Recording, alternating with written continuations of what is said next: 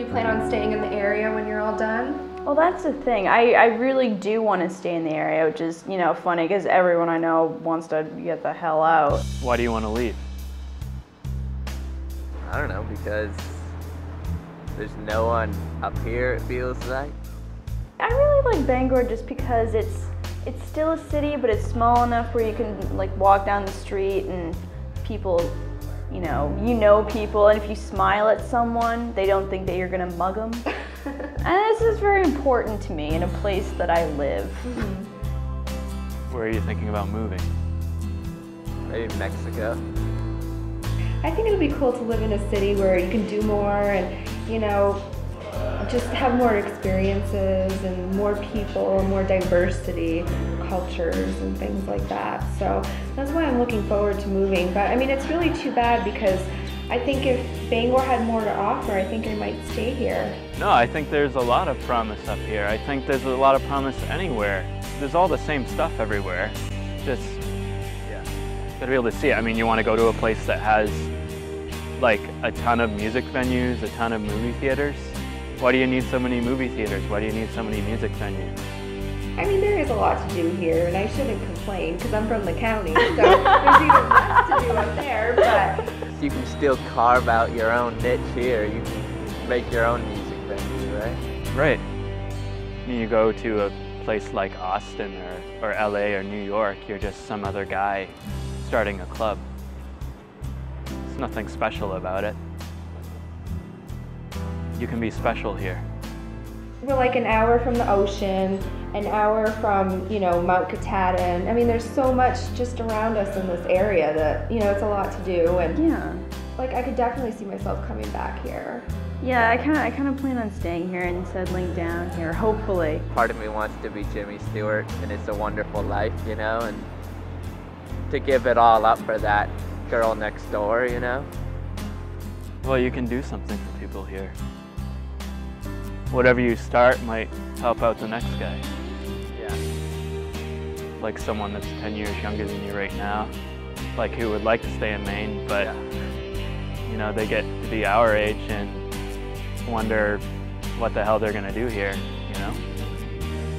Yeah, I really like to volunteer. Um, I went to Peru before on a medical, really? medical missionary trip, and I would love to do that again. Just be able to get down there and it was so you know heartwarming to have such an impact on people. So I'd love to be able to get involved here in Bangor, you know, and do things to help improve the community and improve you know the people in the community. So something I would definitely want to do.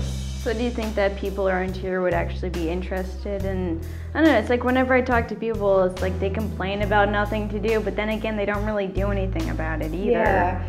Yeah, I mean, I think if you are complaining about nothing to do around here, you yeah. just got to get out and do something, meet yeah. people, and I mean, there's plenty to do here. Um, you know, you just got to get involved. I mean, you're thinking about going someplace else, but it doesn't really sound like you know what you would be doing there or what you want to be doing. Maybe you just want to leave because uh, you think the only way you're going to find a girl that's right for you is to go someplace else. Maybe it doesn't have so much to do with all these other things we're talking about. Maybe it's all about the girl, your inspiration. If I want things to change, the first thing that's gotta change is me.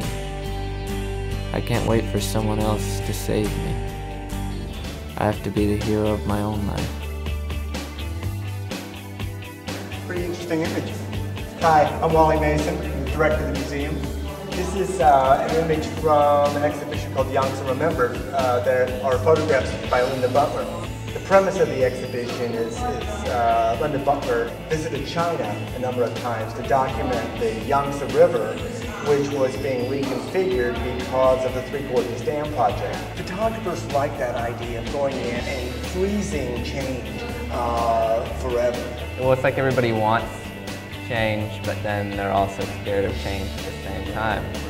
And that transition period from deciding to do something to starting to doing something, and then you're questioning, should I really be doing this? Right, right.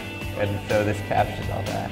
It is fascinating to, to see the change you know, to think about Bangor uh, 120 years ago, what it was like, what it is today, and how, how it's evolved. I think you see that in a much more compressed fashion here, where uh, you know these communities may go back two or three hundred years, and suddenly they're being forced over a very short period of time to completely change and renew themselves.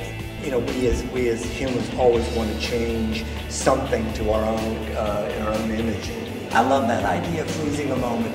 You know, there's something very appealing about that. That most people pick up a camera because they want. I mean, in a sense, it's, it, one could say you're creating death, in that you're stopping time, and that's very appealing to, to, to most people. Or are creating death or are you defying death? The French uh, filmmakers, they would talk about film is mummification. It's like the Egyptians mummifying the bodies. Mm-hmm. You take a picture of someone, they're young and beautiful, and they're always young and That's beautiful, right. that memory of them. That's right. I look at her and have to look away, speechless. Before anything begins, I assume it will fail. Beauty steals my breath, my soul, myself away. I'm left naked, admiration and loss and rejection without a word being said. I need to stop being such a coward.